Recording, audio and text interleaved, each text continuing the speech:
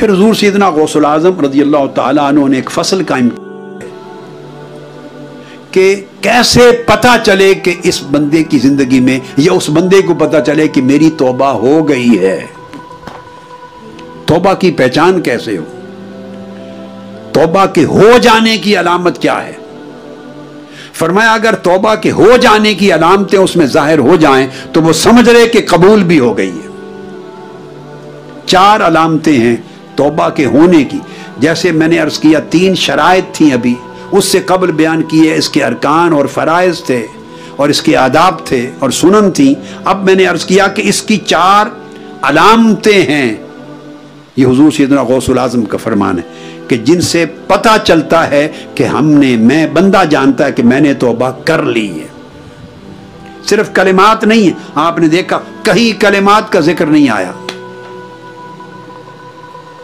वो फरमाया कि तोबा की अलामत है कि बंदा फिर जब तोबा करे तो देखना यह है कि उसकी ज़ुबान झूठ बोलने और गीबत करने से रुक गई है या नहीं।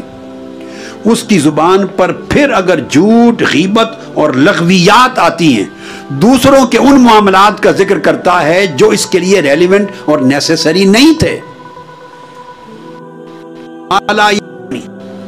इसको ज़रूरत नहीं थी दूसरे के मामले में टांग अड़ाने की। उस पर बात करता है।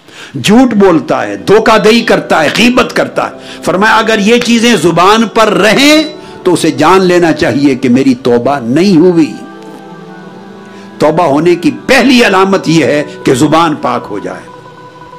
और ज़ुबान पाक होने का मतलब कि झूठ बोलना छोड़ दे। अब झूठ बोल रहा है या सच, ये बोलने वाले को खुद पता होता है, सुनने वाले को नहीं पता होता। बोलने वाले को तो मख्फी नहीं है ना, कि मैं झूठ बोल रहा हूँ। उसे जब पता है कि मैं झूठ बोल रहा हूँ और स्टिल झूठ बोल रहा, वो समझ ले कि मेरी तौबा नहीं हुई। मैंने अल्लाह के साथ भी झूठ बोला। मैंने जब कहा, मेरे अल्लाह मुझे माफ़ कर अल्लाह मेरी तो मेरे गुनाह माफ़ कर दे। तो गोया उसे मालूम होना चाहिए कि मैंने अल्लाह से भी झूठ बोला। अल्लाह के साथ भी धोखा नहीं की क्योंकि अगर उसने तोबा की होती तो फिर ज़ुबान पे झूठ ना आता, गीबत ना आती, चुगली ना आती, किसी की ऐब जोई और ऐब गोई ना आती, और किसी के काम में, मुफ़्त में मुदाखलत करने का जो लख, कौल है, ये ना आता, ये पहले। आसानी हजूर सीदना गौसल आज़म फरमाते हैं कि दूसरी अलामत तोबा के होने की यह है कि उसके दिल में किसी के लिए हसद न रहे, और दिल में किसी के लिए अदावत और बुग्ज न रहे। तोबा करने के बाद बाद के अपने कलबी हालात पर गौर करो। जान लेने के लिए कि ये एक फेल था। कले माते तोबा थे जो हम अदा करते हैं। आया इन कलिमात से अल्लाह के हजूर, हमारी तोबा हुई या नहीं हुई, इसको जानना ज़रूरी है। और किसी और से पूछने की ज़रूरत नहीं है कि मेरी तोबा हुई या नहीं।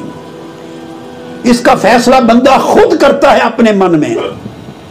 अगर वो खुद ज़िंदगी में झूठ बोलना छोड़ दे, गीबत छोड़ दे, चुगली छोड़ दे और दूसरों की इज़्ज़त और मामलात में ज़ुबान खोलना छोड़ दे तो समझे एक अलामत है, उसको मिल गई खुशगवार कि हाँ तोबा हो गई।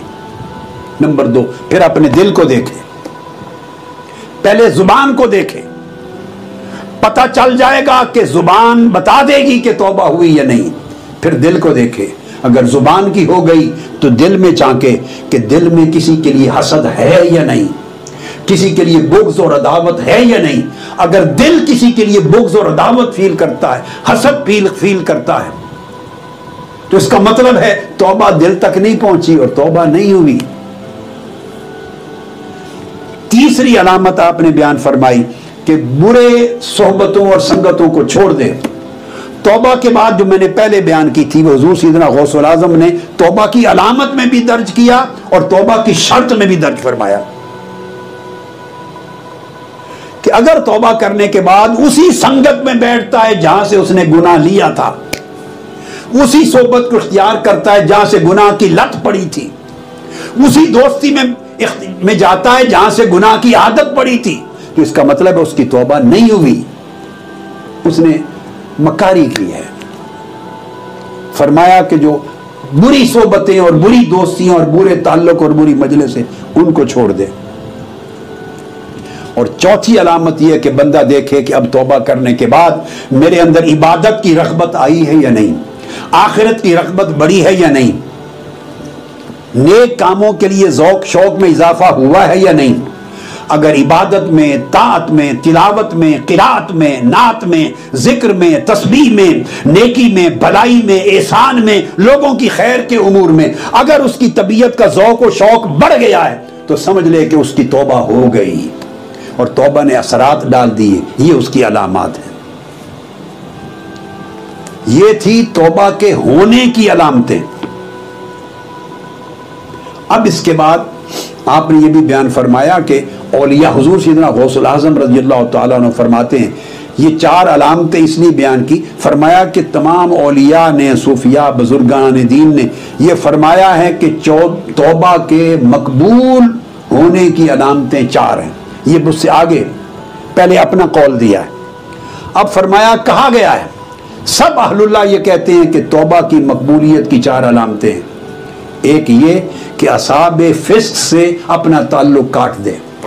जिन्होंने फिर वही बात जो मैंने पहले की, जिन्होंने उसे गुनाह पर आमादा किया था, जिन्होंने जिस सोबत ने उसे, उस पर गुनाह का करना आसान कर दिया था, जिस ताल्लुक और दोस्ती ने उसे गुनाह का जौक और शौक पैदा कर दिया था, या गुनाह इतना भारी पहाड़ की तरह है, उसे हल्का करके मक्खी मच्छर की तरह दिखाया था, और वो शेर हो गया था, गुनाह के करने पर जुरत आ गई थी। उन असाबुल फिस्क उन सोबतों, मजलसों को छोड़ दे। और दूसरी चीज़ अलामत यह है कि जमी जुनूब से, गुनाहों से कट जाए और तातों से जुड़ जाए। आइंदा नाफरमानी से कट जाए और अल्लाह की फरमा बरदारी और ताबे फरमानी से मत ये कि दुनिया की जो फरहत है रखबत है, चाहत और शाहवत है उसके असरात दिल में ख़त्म हो जाएँ या कम हो जाएँ और आखिरत की तरफ़ दिल रागिब हो जाए। आखिरत के अमाल ज़्यादा अहमियत इख्तियार कर जाएँ उसकी ज़िंदगी में। और चौथी शर्त ये, वो अपनी ज़िंदगी में खुद को देखे कि वह काम इलाही में मशगूल हो होता जा रहा है। ज़्यादा मस्जिद की तरफ़ आता है, ज़्यादा नेक मजालिस की तरफ़ आता है ज़िक्र की मजलसों की तरफ़ आता है, ताआत के उमूर की तरफ़ आता है। अल्लाह के काम की तबलीग करने, दावत देने की तरफ़ ज़्यादा उसको जौक मिलता है। अपने मिशन के काम में रखबत और शौक उसको मिलता है। नेकी के काम में शौक मिलता है। लोगों की भलाई, उनका एहसान, गरीबों की मदद करना, मोहताजों को खुश करना, मजलूमों की मदद करना, भूखे को खाना खिलाना। कमज़ोर को ताकत देना, मदद करना, इंसानियत की खिदमत करना, इन चीज़ों में उसको राहत मिलती है। अब जुल्म से उसकी तबीयत हट गई है, ना इंसाफी से हट गई है। अगर ये तब्दीली ज़िंदगी में महसूस करे तो वो महसूस करे कि मेरी तोबा अल्लाह की बारगाह में कबूल हुई जब ये चीज़ हो जाए तो आप फरमाते हैं, आखिर पर अल्लाह पाक उसको चार करामतें आता फरमाएगा। अगर ये मुकाम नसीब हो जाए तो अल्लाह ताला उसको चार करामतें अता फरमाता है। एक तो अल्लाह पाक उसके सारे गुनाह इस तरह मिटा देता है, जैसे उसने गुनाह किया ही नहीं था। उस पर इतलाक होता है कि गुनाह से तौबा करने वाला ऐसा है, ऐसे है, जैसे उसने गुनाह किया ही नहीं था। उससे मुराद वो नहीं जो कलेमात तौबा अदा करता है। नहीं वो ये तौबा का माना है जो बयान किया। जो नादिम होकर गुनाह को और गुनाह की सोहबतों को, गुनाह की मजलसों को, गुनाह की रगबतों को तर्क करके अल्लाह की तात और इबादत और तकवा के जौक के साथ अल्लाह की तरफ़ आ जाए, जिसकी ज़िंदगी तब्दील हो जाए। जहाँ से गुफ्तगु का मैंने आगाज़ किया था कि तौबा वो है कि जो ज़िंदगी को बदल दे। जिन कलिमात ने ज़िंदगी को बदला नहीं, वो भी एक नेकी है। अल्लाह से माफ़ी मांगना ये भी एक नेकी है। एक तात का अमल है। जैसे आदमी हज़ार हा नेकियाँ भी ज़िंदगी में करता है, गुनाह भी करता रहता है तो नेकियों में एक नेकी कर ली, रोया। गुनाह माफ़ हो गया, रोया। अल्लाह से माफ़ी मांगी, ये एक इबादत है। तो ये एक इबादत, इस, ये इस्तफार है, इसको कहते हैं इस्तफार कुरानी मजीद में जा बजा आया है। इस्तफार करो, अल्लाह से और तोबा करो। जा बजा आया। अल्लाह से माफ़ी मांगो और उसकी तरफ़ तोबा करो। इन दो को अल्लाह पाक ने जुदा बयान किया है, कई मुकाम पर। अंबिया कहा करते उम्मतों को, अल्लाह से इस्तफार करो, यानी मगफरत तलब करो और तोबा करो। ये जो हम करते हैं, हाथ उठाकर, ये इस्तफार है। हम अल्लाह से माफ़ी मांगते हैं। तोबा करना इससे अलग एक हकीकत है। माफ़ी मांगने के बाद तोबा वो नदामत है, वो तब्दीली है, वो तर्क गुना है, वो इख्तियार तात तकवा है, जिससे पूरी ज़िंदगी का मिजाज बदल जाता है। ज़िंदगी का रुख बदल जाता है। अगर वो तब्दीली वाकई ना हो तो इसका मतलब है इस्तफार किया, तोबा नहीं की।